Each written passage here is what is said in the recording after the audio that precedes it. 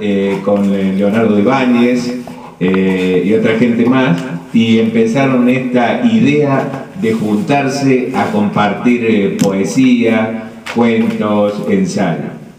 Y lo interesante es que debido a distintas circunstancias, la idea se desinfló allá por el 97, 98. Hubo otras experiencias después en las cuales yo participé también, como la Peña Utopía. Y después finalmente, finalmente en el 2005, como les decía, en octubre del 2005, ahí en la cocina, con Alejandro, con Alberto, ¿dónde está Albertito? Allá está, con Alberto. eh, decidimos sea, impulsar la reorganización de la Lucierte.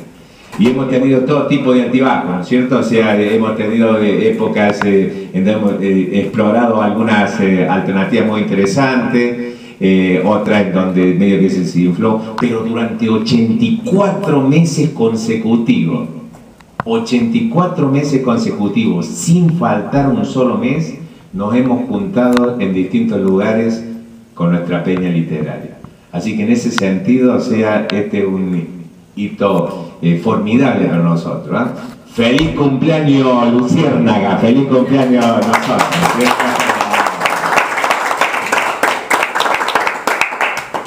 Eh,